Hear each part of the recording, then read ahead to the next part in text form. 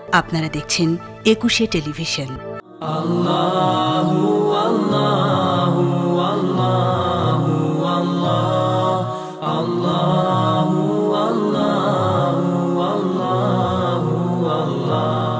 আসসালামু আলাইকুম রহমতুল্লাহি তালা বরাকাত ইন আলহামদুলিল্লাহ ওসলাতু আসসালামু আলা রসুলিল্লাহ বাদ।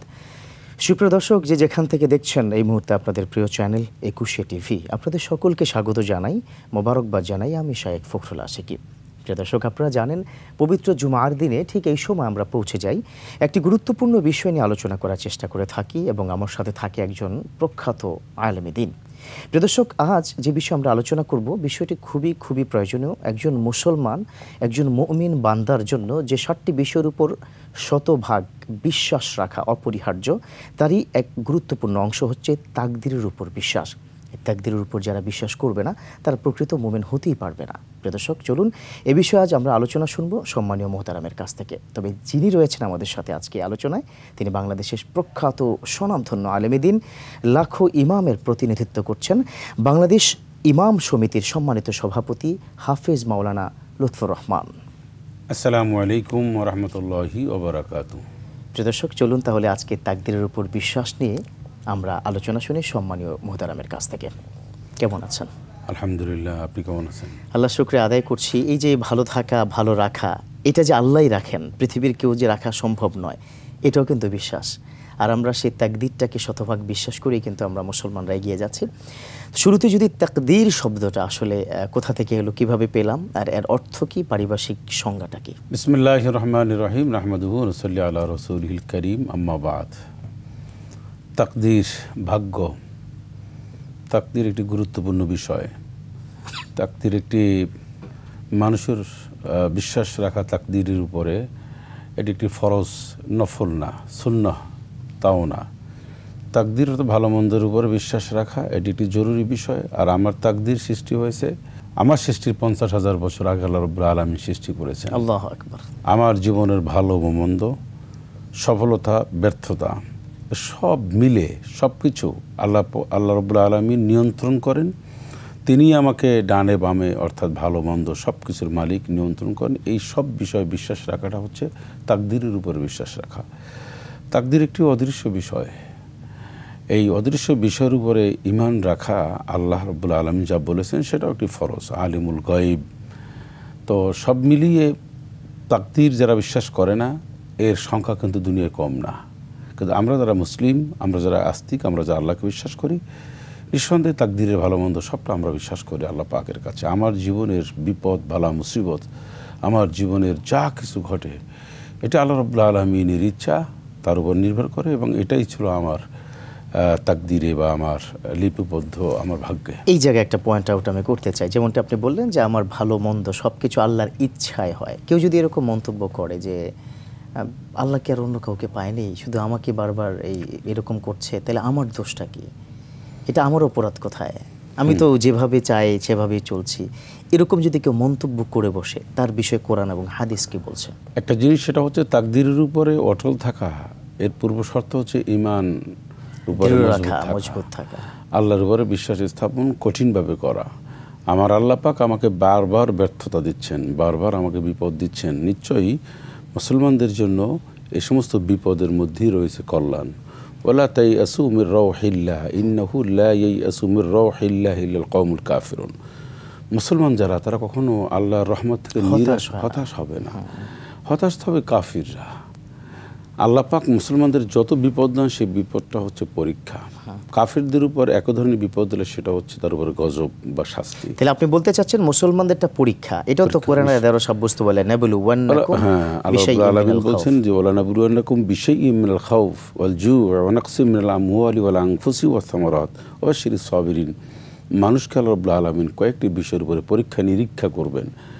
খাদ্য সামগ্রী দিয়ে জানের উপর দিয়ে তার মাল উপরে একটা আল্লাহ রাব্বুল আলামিন ক্ষতি সাধন করে এরপরে তার বাগান এই সব মিলিয়ে এই, সব কিছুর উপর আল্লাহ রাব্বুল আলামিন একটা ব্যর্থতা বা একটা নষ্ট করে দিয়ে আল্লাহ বান্দার অবস্থা দেখবেন তার মোটিভটা দেখবেন এবং তার ইমানের মজবুতি। কি এটা পরীক্ষা নিরীক্ষা করবেন এখানে যদি কেউ ইস্তাকামাত থাকতে পারেন এখানে যদি কেউ সত্যিকার অর্থে ইসলামের মানদণ্ডের উপর দাঁড়িয়ে থাকতে পারেন অবিচলভাবে দাঁড়িয়ে থাকতে পারেন তখনই আল্লাহাক বলছেন অবশ্যই সাবিরিন। বান্দা তুমি এতক্ষণ পর্যন্ত সুন্দর করে ইস্তেকামাতের উপরে দাঁড়িয়েছিলে ধৈর্যশীল ছিলা। ধৈর্যশীল ছিলে তো তাহলেই তোমার জন্য দুনিয়া এবং আখরাতের সুসংবাদ। আপনি একটা জিনিস দেখুন হয়তো আইব আলহ ইসলাতাম ওনার কবরের কাছে মাকবার আমি গিয়েছি। গিয়ে আমি যেটা ভেবেছিলাম সেটি হচ্ছে একজন আল্লাহর বান্দা সতেরো বছর পর্যন্ত সমস্ত পরিলটা পচে গোছে একদম শেষ হয়ে গেছে। কিরা যেটাকে বলে তার হ্যাঁ। জিব্বা পর্যন্ত জিব্বাটা পর্যন্ত অ্যাটাক করেছিলেন এবং তাকে তার সূরা আম্বিয়ার মধ্যে পরিষ্কারভাবে এসছে যে তাকে গ্রামের লোকজন তাকে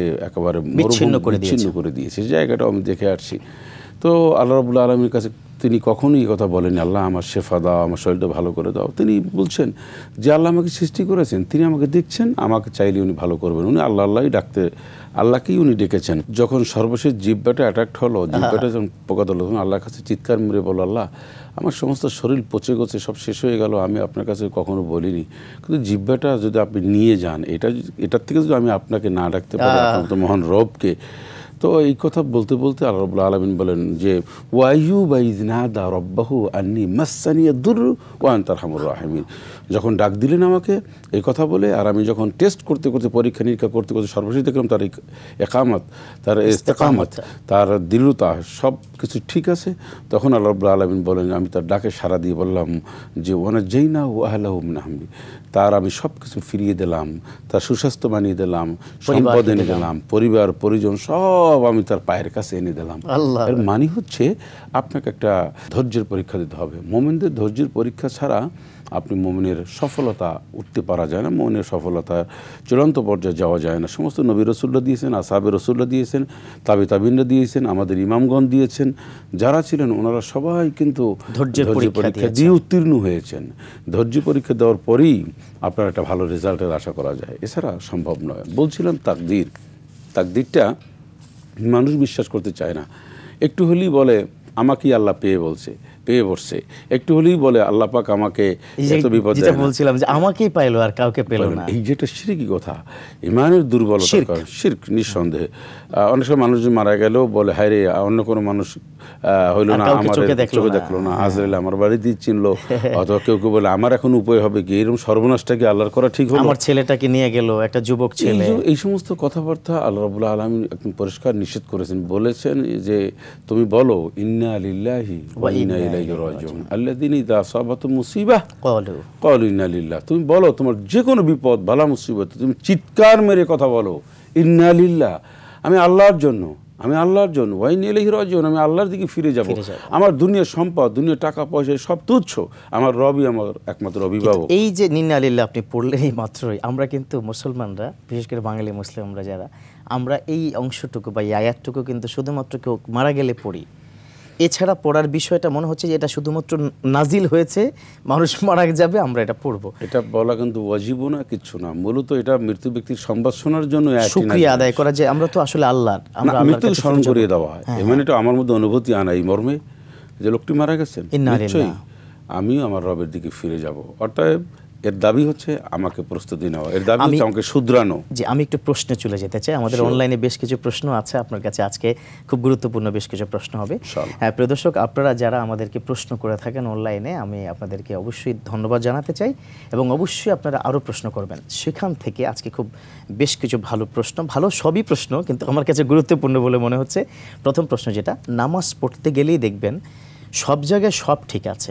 নামাজে কি দাঁড়ালাম হিসেব কিতাবের শুরু হয়ে গেল এই দোকানের এই হিসাব ওই হিসেব বা কোনো বাজে চিন্তা এই ধরনের কিন্তু প্রবলেম যে আমাদের মধ্যে ক্রিয়েট হয়। প্রশ্ন হচ্ছে তখন কি নামাজের কোনো ক্ষতি হবে কিনা?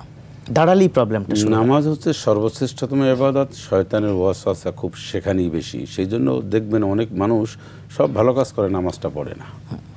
আচ্ছা নামাজের সময় হইলেই মানুষের ব্যস্ততা বেড়ে যায়। কারণ শয়তানের ওয়াসওয়াসা তখন তীব্র আকারে কারণ নামাজ শেষ যদি- হ্যাঁ নামাজ যদি পড়ে তাহলে সে তো সফল কাম হয়ে যাবে। কদাফলাহাল মুমিনুন। তো সফল তো শয়তান চায় না। সেজন্য শয়তান খুব বেশি ওয়াসওয়াসা দেয়। এখন এই নামাজের মধ্যে দাঁড়ালে দুনিয়াবি যে চিন্তা এই চিন্তার থেকে মুক্তি। রসুল আকরাম সাল্লাহ আলী ওসালামও মুক্ত ছিলেন না। তবে নবীজি বলেছেন নবীর কাছে এই প্রশ্ন করা হলে এর সমাধান চাওয়া হলে রসুল বলছেন তোমার নবী এর থেকে মুক্ত না কিন্তু তিনি শয়তানের ওয়াসওয়াসার থেকে নিজেকে হেফাজত নিজেকে হেফাজত করতেন, করে আল্লাহ রাখতে পারেন এই। সক্ষম তাকে দিয়েছেন এই শক্তি তাকে দিয়েছেন এর মানে হচ্ছে তাকে অস্বস্থা দিয়ে শয়তান কখনো কিছু টলাতে পারেনি। বাট নবীজি বুঝাতে চেয়েছেন যে এখান থেকে সব উম্মতরাই কোনো না কোনোভাবে ইফেক্ট। তাহলে রসুল আবার সমাধানও দিয়েছেন। আর এটার এক নম্বর সমাধান হচ্ছে নামাজ পড়ার আগে আপনার নামাজ সম্পর্কে বুঝতে হবে। নামাজ পড়ার আগে সহি শুদ্ধভাবে উজু সহি শুদ্ধভাবে পাক পবিত্রতা অর্জন এবং নামাজে দাঁড়ানোর আগে মনে রাখতে হবে জীবনের সমস্ত গুণাখাতা এটা তার নিজের জীবনে তার চিন্তায় আনতে হবে এবং মনে রাখতে হবে এটা আমার জীবনের শেষ নামাজও হতে পারে। আমি কার সামনে দাঁড়িয়েছি? আমার রবের সামনে দাঁড়িয়েছি। তিনি আমাকে সরাসরি দেখছেন। আমি ক্যামেরার সামনে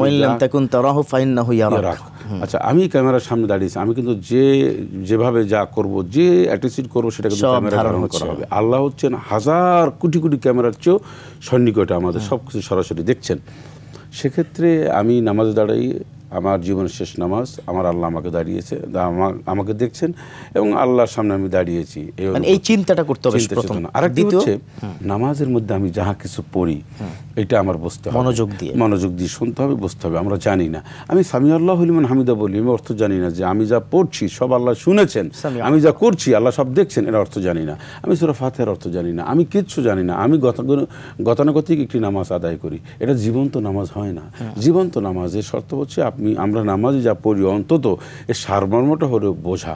এই সব মিলিয়ে যদি আমি নামাজটা আদায় যদি নামাজের মধ্যে এরকম কোনো কুমন্ত্রণা আসার সাথে সাথে করব?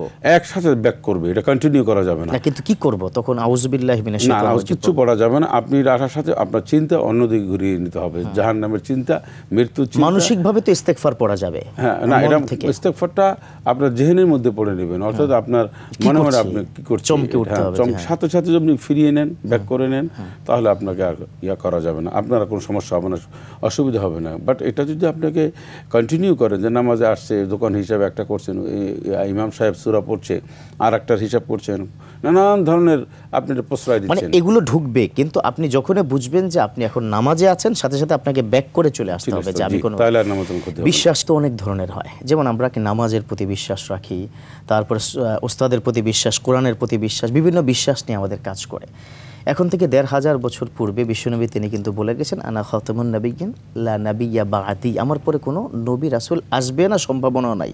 কাউকে স্থলাশিক্ত আবার কি মনেও করা যাবে না। তা আমি দেখি যে আপনি সদ্য কিছুদিন আগে সফর করে আসলেন ইরানে। সেখানে ইরানের কিন্তু একটা বড় প্রবলেম হচ্ছে, তাদের একটা বিশ্বাস। তারা মনে করে যে বাকি তিন আবু বকর ওসমান এবং অমর তাদের চাইতে আলীর সম্মান বেশি, আবার বেশ কিছু বিশ্বাস কি তাদের আছে? এই যে ইসলামের ভিতরে নতুন কোনো বিশ্বাস আবিষ্কার করে সিয়াসুন্নি যে মতবাদ তৈরি করে, এই বিষয়ে ইসলাম কি বলে?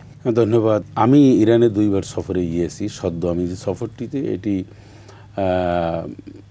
আমরা ঘুরে ঘুরে ইরানের বিভিন্ন জায়গা দেখেছি এবং বিশেষ করে ইরানের একেবারে উচ্চ পর্যায়ের বিভিন্ন ইসলামিক স্কলারদের সাথে বসেছি। সিয়া স্কলার, শিয়া ইমাম এবং সুন্নি ইমাম। আলাদা আলাদা বসেছি, একাত্রেও বসেছি। বেশ কিছু এবং সর্বোচ্চ পর্যায়ে।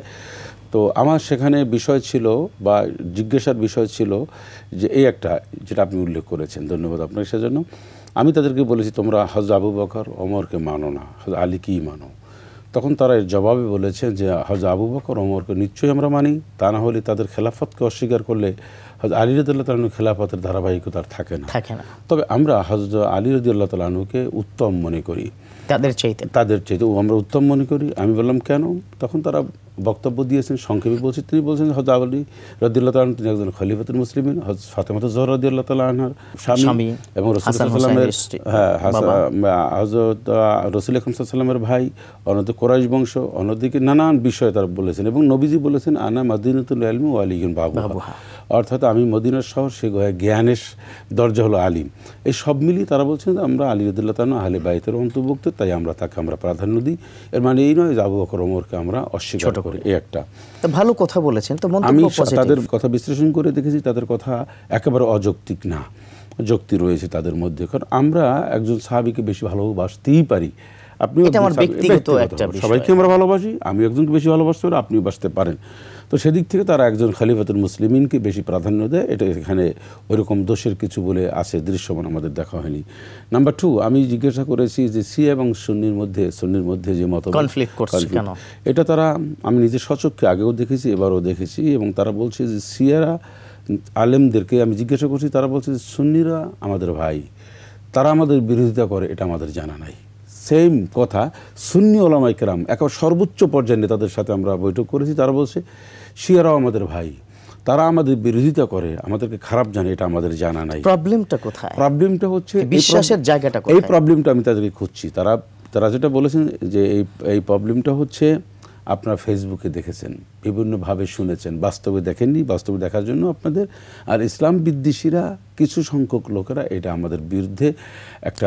প্রপাগান্ডা। রটিয়েছে এই। দেখেন আমরা সিয়াসুনি বিবাহ হয় ব্যবসা বাণিজ্য সব একাত্রে পাশাপাশি মসজিদ আমরাও তাদের মসজিদে নামাজ পড়ি তারাও আমাদের তারাও আমাদের মসজিদে নামাজ পড়ি। আর আমি এটা বাস্তব দেখে আসছি এটা তারা যে বলেছেন শুধু তা না আমরা দেখেছি একটা ফ্যামিলিতে কেউ সিয়াও আছে সুন্নিও আছে বিবাহ সাথীও তাদের মধ্যে ঠিক এরকম হয়। আর একটা প্রশ্ন হচ্ছে যে অনেকে আমরা আমাদের দেশে বলে থাকে যে শিয়ারা মনে করেন ষাট পারা কোরআন শরীফ এটা আমি জিজ্ঞাসা করেছি তারা বলছে যে না এগুলো অস্বীকার করেছেন এবং বলছে এটা আমাদের। কুফরি কথা। তারা। বলছেন যে কোরআনুল করিম তিরিশ পারা আপনি যে কোরআন শরীফ পড়েন আমরাও তারা ওনারা আমাকে কোরআন শরীফ বের করে দেখিয়েছেন বলছেন এই কোরআনুল করিম আমরা পড়ি দেখেন আপনি কোরআন কারিম মসজিদে আছে সব জায়গায় আমাদের কোরআন আছে। তো আপনাদের কোরআন আমাদের কোরআনের মধ্যে কোনো পার্থক্য যদি একটা শব্দ থাকে তাহলে আমরা কথা মেনে নেব। আমি ঠিক এইটাকে আমি দেখেছি না তাদের কোরআনুল কারিমে যা আমাদের কোরআনুল কারিম মানে এই কথাগুলো বেশি বেসিক্যালি একটা প্রোপাগান্ডা চালানো হয়েছে। এটার একটু তথ্য সূত্রের পাশাপাশি আর একটা সম্পূরক প্রশ্ন চলে আসছে। শিয়া সুন্নি আমাদের ভাই ঠিক আছে কিন্তু আহমদিয়া জামাতের যে বিশ্বাসটা এটার উপর যদি আপনি একটু বলতেন এবং তাদেরকে মুসলমান বলা যাবে কিনা। আহমদিয়া মানে কাদিয়ানিদের সাথে আমাদের সাথে বিরাট একটি মানে পার্থক্য রয়েছে এবং পৃথিবীর সমস্ত ওলামাইকার আমরা মনে করেন কাদিয়ানি যারা তারা মুসলিম নন তারা অমুসলিম। একমত এবং এর সাথে আমরাও একমত। কারণ রসুল মকবুল সাল্লাহ আলী ওয়াসাল্লামকে শেষ নবী মানা এইটা ইমানের একটা পার্ট অফ ইমান এইটাকে কোনোভাবে এইটাকে কোনোভাবে পাশ কাটিয়ে যাওয়ার বা বিকল্প কোনো চিন্তা যদি কেউ করতে চায় সাথে সাথে কুফরি মুসলমানের তো খারিজ হয়ে যাবে। এ ব্যাপারে আর কোনো দলিল দেওয়ার প্রয়োজন নাই। সুতরাং কাদিয়ানিরা হচ্ছে অমুসলিম এ ব্যাপারে আমাদের স্পষ্ট মানে আমাদের বক্তব্য স্পষ্ট। আর ইরান কিন্তু এই কথাটাও তারা একমত। একমত পোষণ করেছেন। এটাও আমি জিজ্ঞাসা করেছি। তারাও ঠিক বলেছেন যে খাতামুন নবীন মোহাম্মদুর রসুল সাল্লাহ ইসলাম আশা কাফি। আর এ ব্যাপারে সন্দেহ কোনো অবকাশ নেই। এবং এটাই চূড়ান্ত। যে এটাই চূড়ান্ত সিদ্ধান্ত। এই যে তাহলে এই বিশ্বাসটুকু কিন্তু কেন আজকের আলোচনায় আসলো? কারণ আমরা তাকদিরের উপর যেমন বিশ্বাস করি, বিশ্বাস শব্দটার উপরেও কিন্তু অনেক গবেষণা হচ্ছে যে কি কি বিশ্বাস করতে পারব, কি কি বিশ্বাস করতে পারব না। যেমন তাকদির বা ভাগ্য নির্ধারণের ক্ষেত্রে অনেক সময় আমরা আরেকটা বিশ্বাসে চলে যাই, আপামর জনতা, সবাই না, যারা সচেতন তারা তো অবশ্যই না। সেটা হচ্ছে টিয়া পাখি, তোতা পাখি, হাত দেখা, বিভিন্ন জিনিসে যে বিশ্বাস করা। এগুলো নিয়ে আপনি যদি মন্তব্য, কোরআন হাদিস কি বলে। নিশ্চয়ই আপনি দেখবেন যে মানুষ মানুষের কাছে ভাগ্য গণাতে যায় তারপরে জিজ্ঞাসা করতে যায় এবং আগামী বছরটা কেমন যাবে? হবে বা আমার এই কাজ কি হবে ইস্তেখারা একটা বিষয় আছে ইসলামে কোরআন সুন্নায় এটা এটা জায়েজ আছে ওটা ইলহামের মাধ্যমে স্বপ্নে হ্যাঁ। দেখায় আল্লাহ। কিন্তু কোনো মানুষের কাছে গেলে হাত গুনে বলে দেবে বা তার চেহারা দিকে তাকে বলে দেবে টিয়া পাখি বলে দেবে তারপর অনেকে আবার এই যে আংটি হাতে দেওয়া একটা শূন্য আমরা মনে করি। অনেকে মনে করে যে আংটি হাত দিলে বিপদ বালা ভাগ্য পরিবর্তন হয়। দূর হবে ভাগ্য পরিবর্তন হবে উন্নতি হবে অগ্রগতি হবে শত্রু দমন হবে এ সব ভুয়া কথা এ সব অসত্য কথা এ শির্ক এর মধ্যে কোনো সন্দেহের অবকাশ নাই। আমার আল্লাহ পাক তিনি বলেছেন যে ওয়াইম সাসকাল্লাহ বিদুরিন ফালা কাশিফালাহুল্লাহু কবি খৈরিন ফালা রদালি ফদলি আল্লাহ পাক যদি কোনো মানুষের উপরে কোনো দুর্ভোগ চাপিয়ে দিতে চান পৃথিবীর কোনো সাধ্য নাই শক্তি নাই সেটাকে ঠেকিয়ে রাখতে পারবে পক্ষান্তরে আল্লাহ রবুল্লা আলমিন কোনো মানুষের উপরে কোনো জাতির উপরে যদি কল্যাণ দিতে চান সে কল্যাণ রোধ করার ক্ষমতা কারও নাই। কারণ মা ইফতাহিল্লাহুলিনাসি মির রহমাতিন ফালা মুমসিকালা। এই সুরা ফাতিরের মধ্যে আল্লাহ স্পষ্ট করে বলেছেন যে মানুষের কল্যাণ যদি আল্লাহ পাক দিতে চান তাও কেউ রোধ করতে পারবে না। সবটা আল্লাহ পাকের পক্ষ থেকে আসে অল কাদরে খাইর ওয়াশারিম আল্লাহ তাআলা। আমার জীবনের ভালো মন্দ আমার তাকদিরের ভালো মন্দ সবটার একচ্ছত্র মালিক হচ্ছেন আল্লাহ রবুল্লা আলমিন। নিশ্চয়ই। এই যে আচ্ছা আমন্ত বিল্লাহ ওয়া মালাইকাতিহি ওয়া কুতুবি এই যে সাতটা এর মধ্যে অন্যতম কিন্তু তাকদির। যদি এটাকে ডিরেক্ট আমি আপনাকে প্রশ্ন করি একটা যদি মাইনাস করি তাহলে ইমান থাকবে কিনা? একটা জাস্ট আমার শুধু ভাগ্যটা আমি ইমানে করি না। আল্লাহ পাক যেগুলি বলে দিয়েছেন হুকুম এটা আল্লাপাক পাক রামান্তবিল্লাহ মালাইকাতি ও কুতুব রসুলি একজন মানে সব মান বললাম এই কিতাব শুধু কোরআন মানি না নবী মানি। অথবা আমি তাকদিরের ভালো মন্দটা আমি বিশ্বাস করি না। এইটা আমার জীবনের উপরে নির্ভর করবে আমার চঞ্চলতার উপর নির্ভর করবে আমার শিক্ষার উপর নির্ভর করবে আমার কৌশলের উপর নির্ভর করবে আমার এখানে কৃতিত্ব রয়েছে। না আপনি আপনি আরও আশ্চর্য হবেন যে কোনো মানুষ ফেরাউনকে দেখবেন ফেরাউনের ব্যাপারেও কোনো আল্লাহ আলমিন বলছেন হামানের ব্যাপারে বলেছেন। হামানের যে সম্পদ ছিল সেখানে আল্লাপাক বলেছেন যে এই সম্পদ সে মনে করতো আমার আমার কারুন, মুসা আলাইহিস সালামের চাচাতো হ্যাঁ, ভাই কারুন। কারুন কারুনের উপরে সে কারুন আইন্দি আমি আমার জ্ঞানের দ্বারা সেটা ইনকাম করছি। ইনকাম করেছি কিন্তু বিষয়টি এমন না। আপনার জ্ঞানের মাধ্যমে আপনি আজকে এই পর্যায়ে এসেছেন এটি একটি অসত্য কথা এবং ভ্রান্ত কথা এবং ইসলাম বিদ্বেষী বিরোধী কথা। অতএব কোনোভাবে এটা মেনে নেওয়ার সুযোগ নাই। অসাধারণ আলোচনা আপনি করছিলেন এতক্ষণ আমাদের সময় হয়েছে একটা ছোট্ট বিরতি তারপরে ইনশাআল্লাহ তাআলা আলোচনা ফিরছে। প্রিয় দর্শক নিচ্ছি ছোট্ট বিরতি কোথাও যাবেন না ফিরছি কিছুক্ষণের মধ্যে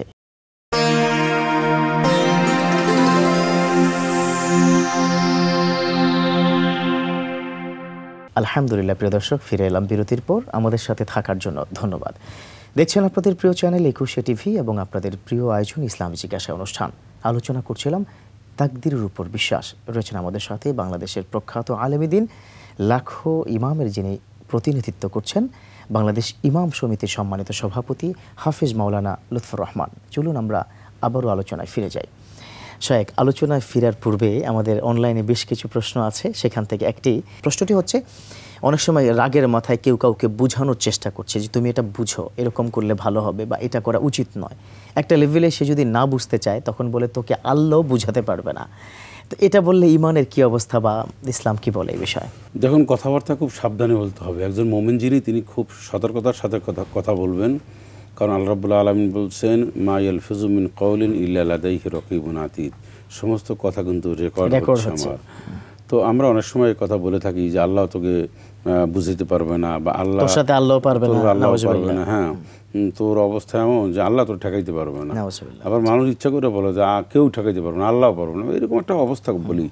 কিন্তু এই কথার গভীরতা বুঝতে হবে। আপনি আল্লাহকে নিয়ে ঠাট্টা করবেন বিদ্রুপ করবেন আল্লাহকে আপনি আল্লাহ পাকের এক তুচ্ছ একটা ক্ষমতার তামাম পৃথিবীর মানুষ সমতুল্যও না। তামাম পৃথিবীর মানুষ শক্তি সব শক্তি একাত্রিত হলে আল্লাহ পাকের সর্বনিম্ন ক্ষমতার একটা এক জার্রা পরিমাণ এক জাররা পরিমাণ ক্ষমতা মানে সমান হতে পারে না। এই বিশ্বাস আমরা বুকে ধারণ করে চলি। অতএব এটা বলার সাথে সাথে ইস্তেকফার করতে হবে। এই সমস্ত কথাবার্তা বলার জন্য সাথে ইস্তেকফার করতে হবে তবা করতে হবে এবং এই জাতীয় কথা আর যাতে করে কেউ না বলে সে ব্যাপারে সিদ্ধান্ত নিতে হবে সতর্ক থাকতে হবে। এবং ইমান কি চলে যাবে? ইমান চলে যায় না। ইমানটা কঠিন। কঠিন চলে যায় না। তবে উনি তো আসলে না জানার কারণেই এটা। বুঝতে পারেনি। বুঝতে পারেনি। এই কথার ওয়েট বুঝতে পারেনি। এই কথার যে কি অর্থ কি এর উদ্দেশ্য কি এটা বলতে পারে না। এই জন্য মানুষ না জেনে যখন একটা কথা বলে তখন হুডাট করে ইমানটা ওরকম চলে যায় না। কারণ তো মানুষ অজান্ত অনেক কিছুই করে। এই জন্য একটা অপশন আছে আল্লাহ বলছেন option। তওবা করা। লা তাকনাতু মির রাহমাতিল্লাহ, ইন্নাল্লাহ যুনুবা জামিআ। তো এই কথাগুলি বলবে ফিরে আসবে ইনশাআল্লাহ আর আমরা এই জাতীয় কোনো কথা বলব না এ ব্যাপারে আমরা অবশ্যই অবশ্যই সতর্ক থাকব আচ্ছা তাকদিরে আমরা আবার একটু ফিরে যেতে চাই তাকদির আসলে সব ক্ষেত্রেই তাকদির কিন্তু একটা বিষয় কি সমাজে আমরা অনেক সময় অনেক কাজ মানুষের উপর দিয়ে উঠিয়ে দিই অথবা মানুষকে সম্পৃক্ত করে ফেলে। যেমন অনেকে বলে যে না রে ওই ডাক্তারটা অনেক ভালো ও না থাকলে হয়তো আমি বাঁচতাম না। ও কিন্তু বিশ্বাসটা তাকদিরের উপর করে নাই ও কিন্তু বিশ্বাস করেছে ডক্টরের উপর। এই বিষয়টা ইসলাম কি বলে? না অনেক সময় এরকমই বলে যে ড্রাইভারটা যদি পাকা না হতো আজকের তাহলে একদম একজনও বাঁচতাম না। বাঁচতাম না। তারপরে বৃষ্টির সময় বলে ঘরটা এরকম খুব মজবুতি ছিল বিধায় বা আমার। ভূমিকম্পের সময় এগুলো এরকম একটা কিছু আমরা বলি। বা অনেক সময় মানুষ অনেক ক্ষেত্রেই বলে তুমি যদি না হইতা তাহলে আজকে আমার এই অবস্থা হইতো না। বা এরকম পর্যায়ে আসতে পারতাম না। এরকম অনেক কিছুই বলে। এগুলি আসলে আমরা মানে না জানার কারণে জ্ঞান না থাকার কারণে ইসলামী জ্ঞান না থাকার কারণেই অনুপস্থিত ইসলামী জ্ঞান তাই মুখ থেকে এই সমস্ত কথা বের হয়ে যায়। এই সমস্ত কথা বলা ওটা শের তবে শেরকে সগির বলা হয় ছোট শির। খাফি এই শিরকে খাফি হালকা শিরিক এই শিরিকি এরকম করতে করতে করতে কিন্তু একটা বড় শিরিকের দিকে আমরা চলে যাব বা যাবে। সেই জন্য এই সমস্ত কথাবার্তা আমাদেরও হুঁশিয়ার বা সাবধান অবলম্বন করতে হবে যাতে করে আমরা এই সমস্ত কথাবার্তার দিকে না যাই। কারণ এই ডাক্তার তাকেও তা এনে দিয়েছেন আমাকে আমার রোগী দেখানোর জন্য আল্লাহ পাক। এমন তো হতে পারতো যে এই ভালো ডাক্তার আমি পাইনি। অথবা এমন তো হতে পারতো সঠিক সময় আমি ডাক্তার কাছে যেতে পারিনি উনি ডায়াগনোসিস করতে পারিনি চিহ্নিত করতে পারিনি। তো এইগুলি আমাদের দেখতে হবে। তবে একটা জিনিস আমি আপনার দৃষ্টি আকর্ষণ করতে চাই তাকদির আল্লাপাক সব কিছু দিয়েছেন কিন্তু মানুষের বেশ কিছু বিষয় কিন্তু মানুষের সিদ্ধান্ত আচার ব্যবহার তার আমল তার চিন্তা চেতনার উপরে নির্ভর করবে। এখন আপনি ট্রাক আসছে আর আপনি বলছেন যাচ্ছেন সতর্ক না। আর একটা দুর্ঘটনা ঘটার পর যদি আপনি বলেন আমার তাকদিরের ছিল। আল্লাপাক আপনাকে বিচার বিশ্লেষণ করার ক্ষমতা দিয়েছেন। মনে রাখবেন সেটি হচ্ছে এই আল্লাপাক আমাদের আকল দিয়েছেন। আকল দেওয়ার কেন দিয়েছেন? হ্যাঁ কেন দিয়েছেন? এই আকল দেওয়ার পরেই কিন্তু আল্লাপাক বিধিবিধান নাজির করেছেন। পাগলের উপর কিন্তু কোনো আইন কানুন নাই। আল্লাপাক আমাদের বুদ্ধি দিয়েছেন বিচার বিশ্লেষণ করার ক্ষমতা দিয়েছেন আকল দিয়েছেন। এরপরে আল্লাহ আলমিন আমাদের উপর আইন প্রয়োগ করেছেন। তুমি এইটা করলে এইটা হবে এটা না করলে এটা হবে না। এই জন্য নাবালক কোনো শিশু যদি একটা কাজ করে তাহলে তার কিন্তু দুনিয়াও বিচার নাই হ্যাঁ। আখেরাতেও বিচার নাই। প্রতিবন্ধী নাবালক হ্যাঁ, কোনো অজ্ঞান। ব্যক্তি। পাগল ব্যক্তি একটা কিছু করলে তার কোনো বিচার আছে। দুনিয়ায় নাই আল্লাহর কাছেও নাই নামাজ পড়ে না পাগল তাই তার কোনো বিচারও হবে না। কোরআনের একটা আয়াত আছেন আপনি যদি বলতেন যেহেতু আপনি বড় একজন হাফেজ যে আল্লাহ ততক্ষণ পর্যন্ত কোনো জাতির ভাগ্য ইন্নাল্লাহ লা ইউগাইয়িরু মা বিকওমিন হাত্তা ইউগাইয়িরু মা বিআনফুসিহিম। জি। যে আল্লাহ রাব্বুল ওই জাতির ভাগ্য পরিবর্তন করে না যতক্ষণ পর্যন্ত সে সিদ্ধান্ত না নেয় বা সে পরিবর্তন হওয়ার জন্য তিনি তৈরি না হন। তো আমার ভাগ্য পরিবর্তনের জন্য আমাকে তৈরি হতে হবে। আমাকে ভালো কিছু রিসিভ করার জন্য আমাকে আগে প্রস্তুত করতে হবে। আমাকে সেভাবেই তৈরি করে নিতে হবে। আমি একটা ভালো কিছু অর্জন করার জন্য আমাকে সেভাবেই আমার চাল চলন আচার ব্যবহার ইমান আকিদা সব কিছু আমাকে সেভাবেই তা নাহলে দিবে না। আল্লাহ পাক দেখবেন বড় বড় আলেমদেরকে জ্ঞান দেন। আল্লাহ তাদেরকে সেভাবে প্রস্তুত প্রস্তুত করেছেন হ্যাঁ, আলেম বললাম কেন? যে কোনো বিষয় আপনাকে একটা কিছু পাওয়ার জন্য আপনাকে নিজেকে নিজে তৈরি করতে হবে। না তৈরি করে আপনি একটা কিছু চাইলে আপনি যদি ডক্টর হতে চান নিশ্চয়ই ওই ফর্মুলাটা অবলম্বন করে এরকম চার পাঁচ বছর সময় দিয়ে তো ডক্টর হতে হবে। আচ্ছা তাকদিরের উপর বিশ্বাস করতে গিয়ে বিশ্বনবীর একটা হাদিস যদি আপনি আমাদের স্মরণ করিয়ে দিতেন যে একজন সাহাবা উঠ বাইরে রেখে এসেছেন তাকদিরের উপর বিশ্বাস করে। তখন বিশ্বনবী কি বলেছেন যদি বলতেন? না এটাই যে রসুল্লাহ সাল্লাহ আলাইসাল্লাম তাকদিরের বিষয়টি এমনভাবে তিনি বলেছেন যে তাকদিরের উপর শুধু নির্ভরশীল হয়েও না। এটার একটা সিস্টেম আছে। এটা তোমার সেখানে কিছু বুদ্ধি বিবেচনা সেখানে তোমার আকল খাটাতে হবে। এই উটটা বাহিরে বেঁধে পরবর্তী রসুল্লাহ সাল্লাম তাকে জিজ্ঞেস করলেন তুমি কোথাও উট রেখে আসছে? বলো আমি তো বাইরে রেখে আসছি। নবীজি তখন বললেন যে তোমার উট কি তোমাকে দেখাশোনা করতে হবে না? সেটা থেকে নিরাপত্তা দিতে হবে? আল্লাহর প্রতি। না আমি আল্লাহর উপর তাওয়াক্কুল রেখে আসছি। রসুল্লাহ বলেন এমন তাওয়াক্কুল আর এমন তাকদির এমন মানে এমন বিশ্বাস তুমি রেখো না। হ্যাঁ। কারণ তোমার এই বিশ্বাসের সাথে আর তোমার ওখানে আকল বা জ্ঞান এটার সাথে একটা মিল থাকতে হবে। এখন আল্লাহর দোষ দিবা যে আল্লাহ এটাকে দেখে রাখে দেখে রাখে না। পরবর্তী তুমি নিজে একটা পাপের পাপের কাজে ধাবিত হয়ে যাবে। তো আমরাও কিন্তু অনেক সময় এরকম করি। অনেক চিন্তা চেতনা চিন্তা ভাবনা করে কাজ না করে এরকম। মানুষ বিদেশে যাওয়ার জন্য বিভিন্ন সময় টাকা পয়সা মানুষ দেয়। ব্যবসা বাণিজ্য করার জন্য কোনো ধরনের কোনো বিশ্লেষণ চিন্তা চেতনা যাচাই বাছাই না করে এটা করে। তারপরে নিঃস্ব হয়ে যায়। নিঃস্ব হয়ে যাওয়ার পরে আর কয়, আল্লাহ আমাকে তকদিরটা খারাপ। তুমি বিদেশে যাওয়ার জন্য টাকা দেবা ব্যবসা বাণিজ্যের জন্য সব মিলিয়ে একটা সিস্টেম হইতে আগাবা বা সব কিছু না করে তুমি যা ইচ্ছে তাই করেছ আগে তোমার ইচ্ছা মতন কাজ করেছ। স্বেচ্ছাচারিতা করেছ আর এখন নিঃস্ব হয়েছে দোষ দিচ্ছ দাও যে তোকে তার এই এই সম্পর্কে একটা প্রশ্ন। আমরা কোথায় কোথায় কিন্তু সারা বাঙালিরাই সব জায়গায় আমরা বলি আমার কপালটা খারাপ। আমার কপালটা খারাপ রে ভাই কি বলব? কপাল খারাপ। এই যে কপাল খারাপ কপাল খারাপ যে বারবার বলছে আসলে কি বিষয়টা কি? না কপাল খারাপ না কপাল সবারই ভালো। আল্লাপাক সবার কপালই ভালো জিনিস রেখে দিয়েছেন ভালোতাই আছে। এখন আমার সেই ভালোটা পাওয়ার জন্য সেদিকেই আমাকে হাঁটতে হবে। আমি এই তেঁতুল গাছ লাগিয়ে যদি মনে করি যে এখানে আপেল গাছের বা এরকম আঙ্গুর গাছের হ্যাঁ। এটা হবে না যেমন তো আমার আমি খারাপ পথে চলে আমি হারাম পথে চলে হালাল চিন্তা করব এটা সম্ভব নয়। সেজন্য রসুল সাল্লাম বলছেন আর তাকদিরুল আয়রদুল্লাহ দোয়া। দোয়া। মানে তকদির পরিবর্তন হয় দোয়া ছাড়া। তার দোয়া বলতে এখানে আল্লাহর কাছে প্রার্থনা দোয়া বলতে এখানে নিজে কাজে পরিণত করা। কাজে পরিণত করা। আপনি সারাদিন চেষ্টা করলে রিজেকের তখনই আল্লাহ পাক আপনাকে রিজিক দিবেন। আপনি অধ্যবসায় করলে পরেই আপনাকে আল্লাহ সব ভালো ফলাফল ফলাফল দিবে। সেই জন্য রসুল্লাহ সাল্লাম বলছেন যে প্রত্যেকটা মানুষের রেজেক আল্লাহ পাক এমনভাবে বরাদ্দ করে রেখেছেন সে সে রেজেক পাবেই এটা মৃত্যু যেমন তাকে স্পর্শ করবেই রেজেকও তাকে ঠিক সেখানে নিয়ে যাবে, তবে বান্দা যদি সেই রেজেক ডান দিকে তালাশ করে অর্থাৎ হালাল দিকে তাহলে সে হালাল দিক থেকে আসবে। আর যদি সে হারাম দিকে তালাশ করে তাহলে হারাম দিক থেকে আসবে। এখন আপনি প্রশ্ন করতে পারেন পৃথিবীতে তো বহুত আমাদের দেশে বড় বড় ব্যবসায়িক আছে ভিআইপি সিআইপি হাজারো কোটি টাকার মালিক। তাহলে অনেকের ব্যাপারে হয়তো কথা বলতে পারেন যে তারা এই টাকা হালাল পথে ইনকাম করেনি। তাহলে তাদের টাকা কি আসতো নিশ্চয়ই আসতো।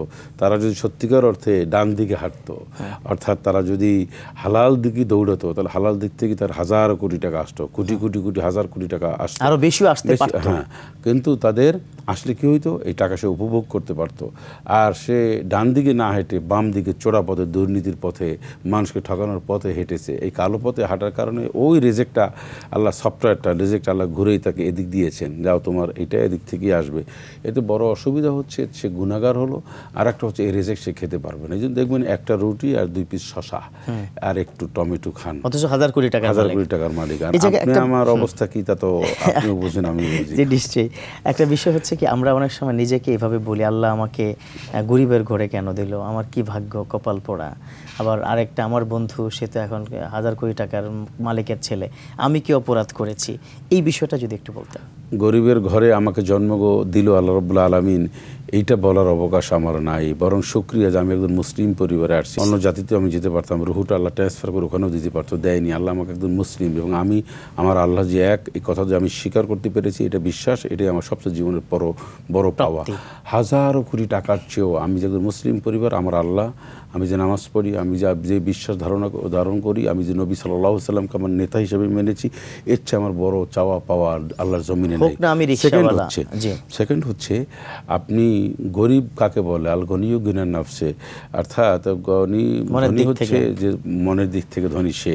টাকা পয়সা তাকে গরিব বলা হয় না। টাকা পয়সা এটা মানুষকে আল্লাহ পাক দেন আর কাউকে দেন না। সেটা আল্লাহ বলছেন যে আল্লাহ লতিফ বেবাদি ইয়ারজকুমাইয়াশা তিনি যাকে খুশি তাকে সম্পদ দেন যাকে খুশি দেন না সমস্যা কোথায়? টাকা পয়সাই যে মানুষের সুখের মানদণ্ড এটা বিশ্বাস করার কোনো অবকাশ নেই না। ইন্নাল্লাহ হিসাব। সেটাও তো আল্লাহ কি বলে দিয়েছে? হ্যাঁ যাকে আল্লাহ তাকে খুশি আল্লাহর ইচ্ছা এটা। তো এই ইচ্ছা কি সেই ইচ্ছা যে আমি চুপচাপ বসে থাকব আল্লাহ ঘরে সেটা বলা যাবে? না। এবং এ কথাও বলা যাবে না যে আমি গরিবের ঘরে জন্ম নিয়েছি অথচ আমার অমুক। এই আফসোস করতে নিষেধ করেছেন।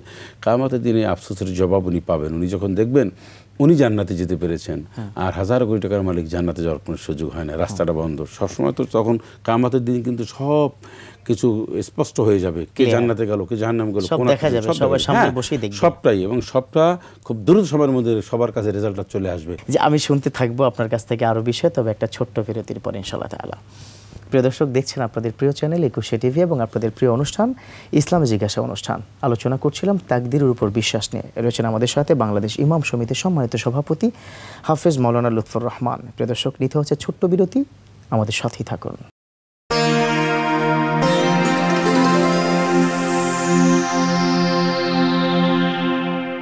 আলহামদুলিল্লাহ। প্রিয় দর্শক, ফিরে এলাম বিরতির পর। আমাদের সাথে থাকার জন্য ধন্যবাদ। দেখছেন আপনাদের প্রিয় চ্যানেল একুশে টিভি এবং আপনাদের প্রিয় অনুষ্ঠান ইসলামী জিজ্ঞাসা অনুষ্ঠান। আলোচনা করছিলাম ত্যাগদির উপর বিশ্বাস নিয়ে। প্রদর্শক চলুন বাকি অংশটুকু মোহতারামের কাছ থেকে শুনে নেই। আমরা বিরতির পূর্বে বেশ কিছু বিষয় আলোচনা করছিলাম তবে আমাদের দর্শকেরও কিন্তু অনেক প্রশ্ন থাকে। সেই প্রশ্নটা একটু আমরা নিয়ে নিচ্ছি। দর্শক আপনারা যারা প্রশ্ন করেন আপনাদের অসংখ্য ধন্যবাদ। আপনারা অবশ্যই আরও বেশি বেশি করে প্রশ্ন করবেন। প্রশ্নটি হচ্ছে আমরা কিন্তু অনেক সময় বিভিন্ন স্টাইলে কসম মানে করে থাকি। সন্তানকে ডেকে মাথায় হাত দিয়ে বলে তোমার সন্তানের কসম। স্ত্রীর মাথায় হাত দিয়ে বলে তোমার কসম। তারপরে মসজিদের কসম বাবার কসম বিভিন্ন স্টাইলের কসম যে আমরা কাটি। আল্লাহ ছাড়া অন্য কারও নামে কসম করা যাবে কি না? না আল্লাহ পাক ছাড়া আর অন্য কারও নামে কসম কাটা যাবে না। অনেক সময় মানুষ কলম হাতে নিয়ে বলে বৃদ্ধের কসম। বই শুয়ে বলে বিদ্যের বইয়ের কসম। আরও আশ্চর্য হবে না অনেকে সিগারেট হাতে নিয়ে বলে যে আগুনের কসম। এই কাজ আমি করি না তুমি আসো বা এরকম একটা কিছু বলে। এরকম কিন্তু বলে। তো এই সবগুলো হটকারিতা এগুলি কোনোভাবেই যাবে না। শির্ক। শিরিক আল্লাহ ছাড়া অন্য আল্লাহ ছাড়া কোনো কসম করা যাবে না। নিশ্চয়ই। তাকদিরের যে জায়গাটাতে আমরা খুব বেশি আলোচনা করব সেটা হচ্ছে মানুষের ভবিষ্যৎ পরিকল্পনা কিন্তু করেন অনেকে। আমি এটা করছি বা এটা করব। এই ক্ষেত্রে কি তাকদিরের উপর কোনো ইফেক্ট পড়ে কিনা বা তাকদিরের বিষয় কোনো? আল্লাহর কাছে চাওয়া ডাইরেক্ট কথা। আল্লাহ পাক কিছু তাকদিরের কিছু ছাড়া অন্য কিছু জিনিস বেশ কিছু জিনিস রয়েছে তা আল্লাহ পরিবর্তন পরিবর্তন করেন সংযোজন বিয়োজন করেন। তো এর মধ্যে আমার জীবনের ভালো ভালো কিছু চাওয়া আল্লাহর কাছে এটা আমি চাইতে পারি। চাইলে আল্লাহ পাক দিবেন। এই অপশনটাকে আল্লাহ উন্মুক্ত করে। রেখেছেন হ্যাঁ। আল্লাহ পাক এমন না যে তার কলমটা এমনভাবে বন্ধ করে রেখেছেন যে আমাকে আল্লাহ যা লিখেছেন একা টোটালি তা পরিবর্তন করবেন না। বিষয়টি এমন না। যেমন আমার অসুস্থ হইলে আমি আল্লাহর কাছে বলতে পারি আল্লাহ সুস্থ করে দেবেন। সেজন্য আল্লাহ পাক বলছেন যে তুমি চাও ওই যা মারিত্তু ফাহু তুমি চাইলেই তুমি সেটা মাপ পেয়ে যাবে। এরপর আমি ভালো একটা কাজ করছি আমি সেখানে সে কাজের কল্যাণ চেয়ে আল্লাহর কাছে আমি চাইতেই পারি। আমার প্রশ্নটা ছিল একটা মাস্টার প্ল্যান করছি। আমি এটা করলে এটা হবে। শোনো তুমি এটা করলে কিন্তু এটা পাবা। এটা হলে ওটা হবে। এখানে গেলে এটা পাবা। এই জাতীয় ফিউচার কোনো কথা আমরা যদি বলি ফিউচারের একটা প্ল্যান কিন্তু আল্লাপাক মানুষকে দিয়েছেন। মানুষকে মানুষকে আল্লাপাক ফিউচার এই যে আমি একটা প্ল্যান পারিবারিক প্ল্যান সামাজিক প্ল্যান রাষ্ট্রীয় একটা প্ল্যান থাকে আপনি জানেন যে আমরা এই কাজ করব পাঁচ বছর মেয়াদি তিন বছর মেয়াদি দুই বছর মেয়াদি এটা কিন্তু কোনো দোষর না। আচ্ছা আচ্ছা। এটা কোনো অপরাধ না হ্যাঁ? তাহলে প্রত্যেকটা মানুষ আপনার জীবনেও কিন্তু একটা প্ল্যান রয়েছে যে আল্লাহ চাইলে আল্লাহ রহম করলে আমি এই তিন মাস পর অমুক জায়গায় যাব বা এইটা করব এই যে। শব্দটুকু আপনি বললেন আমি এটাই সংযোগ করতে চাচ্ছিলাম যে আল্লাহ- রহমতে। হ্যাঁ, দুইটা জিনিস আমি ভবিষ্যতে কোনো কাজ করতে হলে আমি আমার আল্লাহর নামে ইনশাআল্লাহ যদি আল্লাহ চাহেন এই শব্দ আমাকে ব্যবহার করতে হবে ব্যবহার বা এই এটা আমার জেহেনে রাখতে হবে এটা আমার মেমোরিতে রাখতে হবে। এই দৃষ্টিভঙ্গি নিয়ে আমি পারব না, আল্লাহ করবেন। আল্লাহ ইনশাল্লাহ চাইলে এটা করব। আর কোনো কিছু ভুলে গেলেও সেইটা আগামীকাল যদি কোনো কিছু করতে চাই তাই সেখানে আমার কিছু করার নেই। বলা তা তাকুল আলী শাইন ইন্নি ফাইলুন জালিকা ইল্লা গদা হ্যাঁ আল্লাহ পাক বলছেন যে তুমি আগামীকাল কোনো কাজ করবে এই কথা তুমি বলো না আল্লাহ ছাড়া। হ্যাঁ আমি আল্লাহ যদি দয়া করে করতে দেন তাহলে আমি করব। তো এখন ব্যাপারটা হচ্ছে আমরা আমাদের আবারও বলছি আমাদের এই সমস্ত জিনিস না বোঝার কারণে আমরা হুডাট করে খালি বলতে থাকি মুখ থেকে আমি এটা করব সেটা করব ওইটা করব। আমার পরশু দিন তো দূরের কথা আমি এই সেট থেকে উঠতে পারব কিনা এটার তো আমার আমার এই পয়েন্টটাই কিন্তু বেসিক্যালি ছিল যে আমরা ভবিষ্যৎ যদি কোনো কিছু বলতে চাই যে আমি দশ বছর পরে এটা হব ইনশাআল্লাহ। আমি এটা হব এই যে ইনশাল্লাহ শব্দটা। আচ্ছা আমরা অনেক সময় মসজিদে যেতে চাই না বা অনেক সময় যেতে পারি না দুইটা কিন্তু দুই জিনিস একটা যেতে চাই না ভালো লাগে না মসজিদে নামাজ পড়তে আর একটা যেতে পারি না কাজের কারণে। এখানে একটা সম্পূরক প্রশ্ন এসেছে অনলাইন থেকে যে সক্ষম থাকার পরেও মসজিদে নামাজে না গিয়ে একাকী যদি কেউ নামাজ পড়ে তাহলে কি তার নামাজটা হবে কিনা? হ্যাঁ ধন্যবাদ আপনাকে। দেখুন আমাদের মাঝহাবে মসজিদে গিয়ে নামাজ পড়া ওয়াজিব। আর আমাদের মাঝহাবের যে সমস্ত ওলামাই কেরাম তারা ফতোয়া দিয়েছেন এটা সুন্নতে মক্কাদা কিন্তু অন্যান্য মাঝহাবে কিন্তু এটা ওয়াজিব অর্থাৎ নামাজ হবে না। এর অনেক মাঝহাবে এটা রয়েছে সিদ্ধান্ত রয়েছে। কিন্তু এখন সমন্বয় কীভাবে করবেন? সমন্বয় হচ্ছে সহি শুদ্ধ এবং এটাই প্রমাণিত যে মসজিদে গিয়ে নামাজ পড়তে হবে। তবে কোনোভাবে যদি সে ঘরে বসে নামাজ পড়ে নামাজ হয়ে নামাজ হয়ে যাবে কিন্তু মসজিদে যাওয়ার ব্যাপারে উৎসাহ প্রদান বেশি করতে হবে নির্দেশনা বেশি এসছে তাই এখানে সোয়াবটাও বেশি। সাতাশ গুণ বেশি সোয়াব হবে যেহেতু জামাতে সর্বশেষ যদি আপনি একটু বলতেন যে ভাগ্য পরিবর্তনের কোনো দোয়া আছে কিনা? ভাগ্য পরিবর্তনের দোয়া একটাই আমল। রসুল্লাহ সাল্লাহ সাল্লামের কাছে গিয়েছেন ইয়া রসুল্লাহ আপনি আমাকে কিছু রেজেকে যেন রেজেক বৃদ্ধি পায়। নবীজি বলেছেন বলেছেন যে তুমি তোমার মায়ের খেদমত করো। তো বললেন যে মায়ের খেদমতের সাথে? রসুল হ্যাঁ আছে। আর একবার গিয়েছিলেন রসুল্লাহ সাল্লাহ আলি সাল্লামের কাছে তিনি বললেন তোমার আত্মীয় স্বজন হক আদায় করো তাহলে তোমার রেজেক বেড়ে যাবে হায়াতও বাড়বে। হাদিস কিন্তু। সব মিলিয়ে অপচয় করা বন্ধ করো হ্যাঁ। এটাও হাদিস আছে। মান আমিলা সালেহাম মিন জাকারিন ওয়া হুয়া মুমিনুন ফালানুহইয়ান্নাহু হায়াতান তাইয়্যিবাহ। মানুষ নারী হোক পুরুষ হোক যে ভালো কাজ করবে তার প্রতিদান পাবে এবং উত্তম কাজ করলে পরে আল্লাহ পাক তাকে হায়াতে তৈয়বা দারাজ করবে। হায়াত তৈয়বা মানে লম্বা হায়াত একশো বছর থেকে দুইশো বছর না একশো বছর থেকে দেড়শো বছর।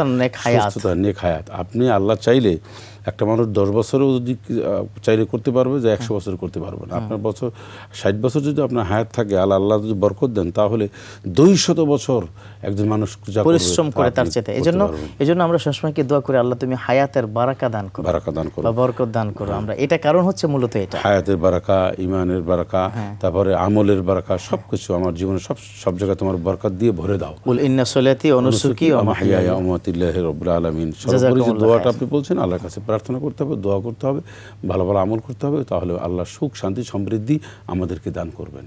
আলহামদুলিল্লাহ। জাজাকুমুল্লাহ খায়ের অসাধারণভাবে আপনি আজকে ভাগ্যের বিষয়ে আলোচনা করেছেন। বারকাল্লাহ ফিক। জাজাকাল্লাহ খাইরান হ্যাঁ প্রিয় দর্শক সত্যিই তাই যে ভাগ্য পরিবর্তন কিন্তু আল্লাহ করবেন কিন্তু আপনার চাইতে হবে আপনাকে কাজ করতে হবে আমল করতে হবে। কোন কাজ করলে আল্লাহ খুশি হয়ে আপনার ভাগ্য পরিবর্তন করবে? যে কোনো বিষয় পরিশ্রম করলে কিন্তু আল্লাহ দান করেন তাই না? আমরা যার ফলেই কিন্তু শিশুবেলা থেকেই পরিশ্রমটা করছি। তো আমরা তাকদিরের উপর শতভাগ বিশ্বাস করব, আল্লাহ আমাদেরকে দিচ্ছেন, আল্লাহই সব কিছু করবেন। এই বিশ্বাস আমরা অবশ্যই রাখব। প্রিয় দর্শক, আজ এ পর্যন্তই। ভালো থাকবেন, সুস্থ থাকবেন। তবে যাওয়ার পূর্বে আপনাদের জন্য বলছি, আপনার কোনো প্রশ্ন, মতামত জানাতে ভিজিট করুন আমাদের এই ঠিকানায়।